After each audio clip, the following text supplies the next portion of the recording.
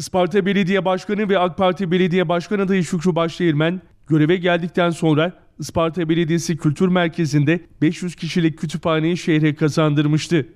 Başkan Başdeğirmen, çocukların ve gençlerin şehirde daha çok spor tesisleri ve kütüphanede vakit geçirmelerini sağlamak amacıyla şehre yeni yatırımlar kazandırıyor. Bugüne kadar 22 semt sahası ve 2 adet spor kompleksini Isparta'ya kazandıran Başkan Başdeğirmen, uzak mahallelerdeki çocuklar ve gençler için de kütüphaneler kuruyor. Bunlardan biri de Davraz Mahallesi'nde kuruldu. İçerisinde çok amaçlı salon, çocuk ve yetişkin kütüphane alanlarıyla etüt merkezinin bulunduğu Davraz Mahallesi Gençlik Merkezi ve Halk Kütüphanesi törenle hizmete açıldı.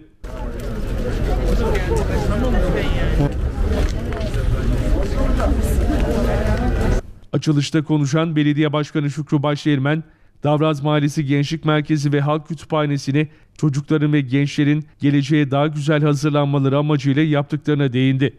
Yapmak istediğimiz bu güzel çocuklarımızın geleceğine daha aydınlık şekilde bakabilmek, baktırabilmek. Derslerine çalışırken rahat bir ortamda, huzur içerisinde başarılarını ilerletebilmek derslerine çalışarak. Amacımız bu çocuklarımızın daha çok etkin bir şekilde spor yapabilmeleri, daha çok ders çalışarak bu güzelliklerden istifade edebilmeleri. Biz çocuklarımızı ilk etapta bu dijital bağımlılıktan kurtarabilmemiz lazım.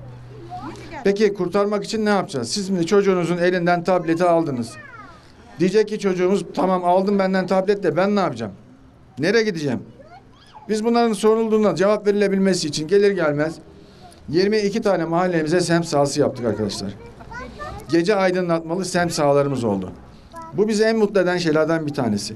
Hala da havalar çok soğuk olmadığı için birçok yerde, birçok e, bu oyun alanlarında gençlerimizin, çocuklarımızın oyun oynadığını görünce şahsen ben bir belediye başkanı olarak çok mutlu oluyorum. Bu bizim belediyemizin daha önceden hiçbir kendine ait kapalı spor salonumuz yoktu. Üç tane kapalı spor salonu yaptık. İki tanesini iki okulumuza hediye ettik. Bir tanesini de kendi bünyemizde tuttuk. Isparta'mızın yüzme havuzu da yoktu. Yarı olimpik yüzme havuzu yaptık belediyemize. Belediyemizin bünyesinde onu gençlerimize sunduk. Belediyemizin hiç UEFA standartlarında büyük yani Atatürk Stadyumu büyüklüğünde halı sahası veya farklı eğitim alanları yoktu. Ne yaptık? Onu da yaptık. Öğrenciler için kütüphaneleri oluşturduklarına dikkat çeken Başkan Başdeğirmen, Meydan AVM'deki kütüphane merkezde. Çocuklarımızın evlerinin yakınına kütüphane kurduk. Davraz, Akkent ve Vatan mahallelerine dedi. Okulda çocuklarımız aldığı dersleri, öğretmenlerin verdiği soruları çalışmak için eve gidiyorlar. Evde belki de uygun bir ortam bulamıyorlar. Ev gürültülü olabiliyor. Kardeşleri vardır, misafir vardır. Fakat çocuklar tek başına çalışarak yer bulamadıkları zaman da başarılı olamadıklarını düşünüyorlar. Bizler göreve gelir gelmez biliyorsunuz ki İTKM 25 yıldır şehrimizde yapılamayan bir yapıydı. Yarım kalmıştı. Onu bitirdik. Onu bitirdiğimiz zaman ilk yaptığımız şey içerisinde kütüphane açmaktı. 500 öğrencimizin ders yapabileceği çok güzel bir kütüphaneyi oraya koyduk.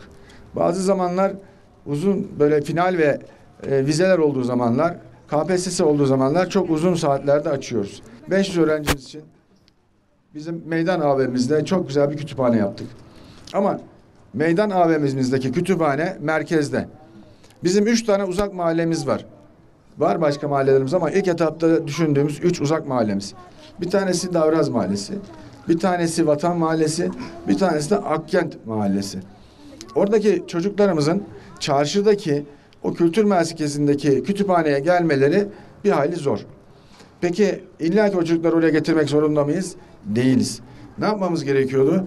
Onların da yakınlarına, evlerinin dibine kütüphaneleri açmak zorundaydık. Etüt merkezlerini açmak zorundaydık.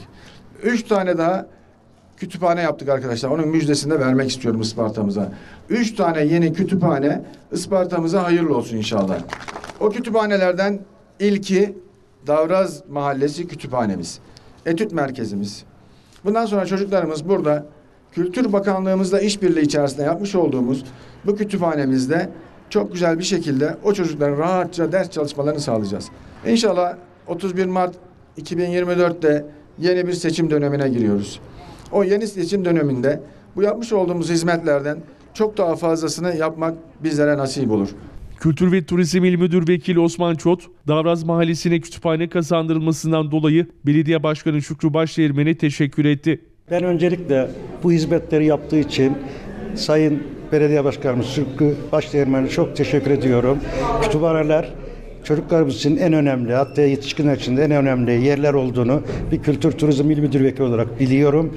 Bunun için ilk yaptığımız Meydan AVM'deki kütüphane hakikaten gerekli hizmetlerini gördüğüm zaman her gün arada bir gidip kontrol kontrol amaçlı değil ama gidip baktığımda her zaman dolu olarak görüyorum. Geceleri gidiyorum genelde tiyatroda olduğu zaman da. Bundan sonra bunların bir gereksinim olduğunu Sayın Başkanım herhalde ki bildi.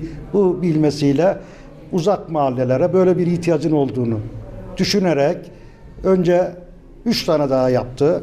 Bunda bakanlığımızda tefrişat ve kitap katkılarını Sayın Belediye Başkanımız Şükrü Başdeğirmen de binaların yapılması ile ilgilendi. Şu anda üç tane kütüphaneden birincisini bugün Davraz Mahallesi'ndeki açıyoruz. Bundan sonra bir tane Vatan Mahallesi'nde var.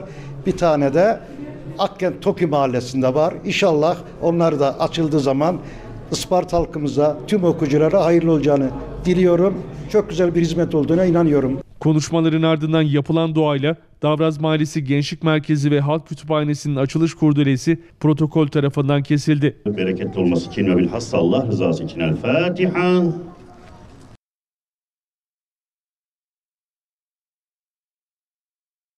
Ya Bismillah.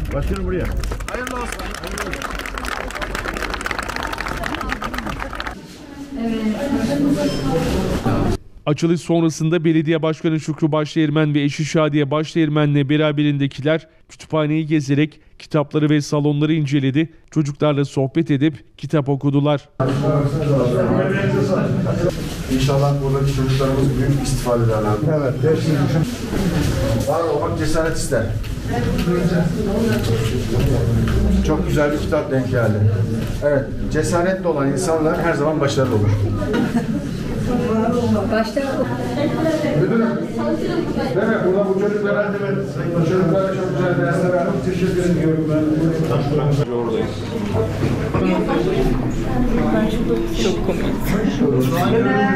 aklımızda hep beraber olduk. Çocuklar ve vatandaşlar mahallelerine kazandırılan kütüphaneden dolayı memnun olduklarını belirterek Başkan Başdeğirmen'e teşekkür ettiler.